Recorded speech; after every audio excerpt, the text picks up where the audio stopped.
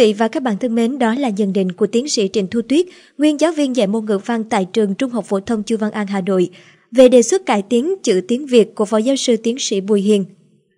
Theo tiến sĩ Trịnh Thu Tuyết, nếu nhìn nhận nghiêm túc thì tiếng Việt có rất nhiều điều bất hợp lý cả trăm năm nay. Sự bất hợp lý đó được hợp lý hóa bằng những ước lệ mang tính mặc định trong cộng đồng sử dụng ngôn ngữ Việt, ví dụ các chữ cái C, K, Q,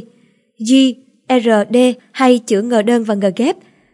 Tiến sĩ Tuyết nói, những mặc định đó tồn tại lâu dần thành thói quen, từ thói quen thành chuẩn mực chính tả phổ thông. Đó cũng là điều khó khăn khi người nước ngoài học tiếng Việt, họ không thể giải thích bằng cơ sở khoa học mang tính logic mà chỉ chấp nhận như một quy ước mặc định. Ví dụ, nhiều học viên thắc mắc về cách viết và cách đọc chữ gì chẳng hạn.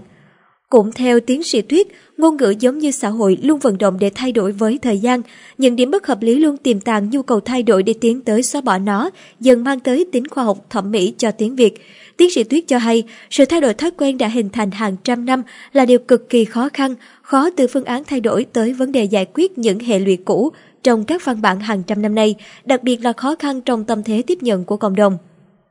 Khi được hỏi về việc liệu rằng đề xuất của Phó Giáo sư Tiến sĩ Bùi Hiền có khả thi, nữ tiến sĩ nhận định phương án do Phó Giáo sư Tiến sĩ Bùi Hiền đề xuất có quá nhiều sự thay đổi, chưa thuyết phục được người sử dụng tiếng Việt, cũng là chủ nhân đích thực của tài sản tinh thần quý giá của cộng đồng, gây phản ứng là dễ hiểu. Tiếng nói có trước, chữ viết có sau để ghi âm tiếng nói. Vậy chữ phải thể hiện được đầy đủ các sắc độ tinh tế của tiếng nói, không thể xóa nhòa và đồng nhất các sắc độ đấy, thay đổi chính âm, buộc người sử dụng ngôn ngữ chạy theo chính tả khi đồng nhất chữ X, chữ S, chữ chờ và chữ r, chữ r và chữ d.